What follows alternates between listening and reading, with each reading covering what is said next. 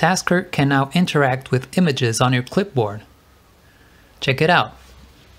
For example, Tasker can uh, set images on your clipboard and then use those, use those images in other apps. For example, my son likes Pokemon very much and he wanted to build a list in Google Slides with the images of the various Pokemon.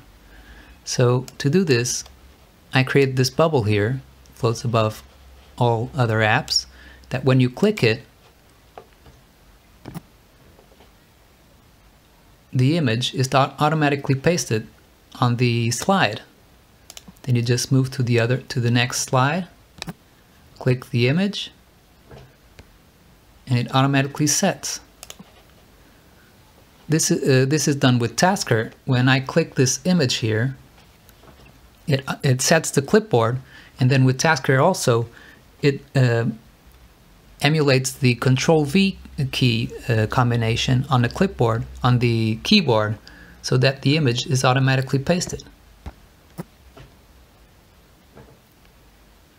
And you can do this all the way till the end very easily add all the images.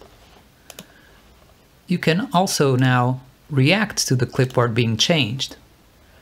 And this you can use this in this example to, uh, for example, create a history of all your all the, of the images on your clipboard.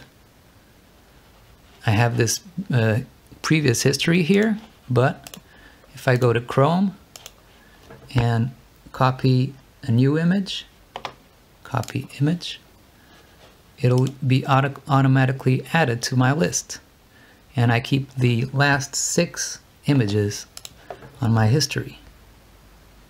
Copy image, and it's on my list. Now if I go back to slides,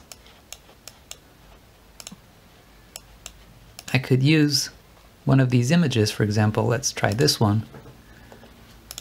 I've copied it to the clipboard and I can paste it right here. So as you saw, Tasker can now set and get images from the clipboard. I'll leave this, these projects in the video description so you can use them yourself. Hope you enjoyed it. Bye!